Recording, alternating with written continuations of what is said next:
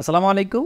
নতুন একটি ভিডিওতে আবারও স্বাগত অনেকেই প্রশ্ন করছেন যে আমার টিন সার্টিফিকেট আছে, আমি যদি পরপর তিন বছর জিরো রিটার্ন জমা দেই, তাহলে অটোমেটিক আমার টিন সার্টিফিকেটটি বাতিল হয়ে যাবে কি না এর উত্তর হচ্ছে, আমি নিজেও কয়েকজন কর কর্মকর্তার সঙ্গে কথা বলেছি।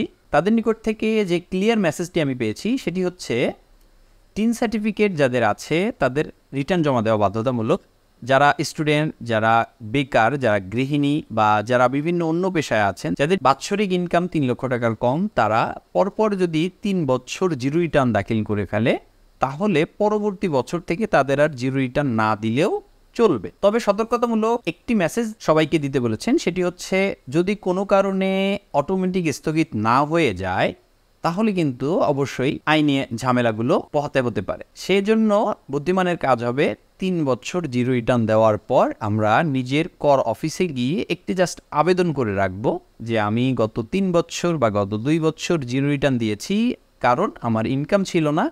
কিন্তু প্রয়োজনে বা বিভিন্ন কারণে আমি টিন সার্টিফিকেট করেছিলাম। এই টিন সার্টিফিকেটটি আমার এই মুহূর্তে প্রয়োজন নেই। আমার এই টিন সার্টিফিকেটটি স্থগিত করার জন্য আমি আবেদন করছি বা আমি অনুরোধ করছি যে এই টিন সার্টিফিকেটটি যেন আমার স্থগিত করা হয় বা বাতিল করা হয়। এরকম যদি একটা আবেদন দিয়ে রাখা হয়, তাহলে আর কোনো ধরনের ঝামেলার সম্মুখীন নেই। কারণ আপনার নিকট একটি ডকুমেন্ট তখন থাকবে। নেক্সটে যদি কখনও কোনো জটিলতা আসে যে আপনার টিন সার্টিফিকেট আছে, আপনি কেন রিটার্ন জমা দিচ্ছেন না, জমা দেননি, তখন কিন্তু আপনি এই আবেদনপত্রটি দেখাতে পারবেন কোনো কর, কর্মকর্তার নিকট। এজন্য আমি আপনাদের নিকট রিকোয়েস্ট করব, যেহেতু একটি আবেদন করতে আপনার কোনো খরচ হচ্ছে না, কোনো ধরনের ঝামেলা হচ্ছে না, শুধুমাত্র নিজের কর অঞ্চলে গিয়ে কর অঞ্চল অফিসে গিয়ে একটি আবেদন করে নেবেন যে আমি আমার টিন সার্টিফিকেটটি বাতিল করতে যাচ্ছি। তাহলে আমরা একটি বিষয়ে ক্লিয়ার হলাম যে যদি আমরা পরপর তিন বছর জিরো রিটার্ন দাখিল করি, তাহলে আমাদের টিন সার্টিফিকেটটি বাতিল হয়ে যাবে। এটা অটোমেটিক বাতিল হওয়ার চান্স আছে।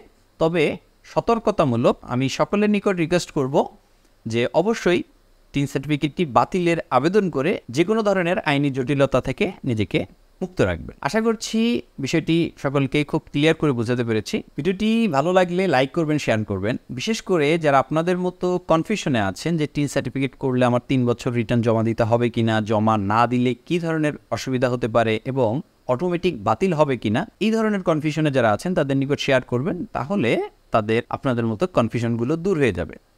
তো ভালো থাকুন, সুস্থ থাকুন। দেখা হবে নতুন কোনো ভিডিওতে আসসালামু আলাইকুম।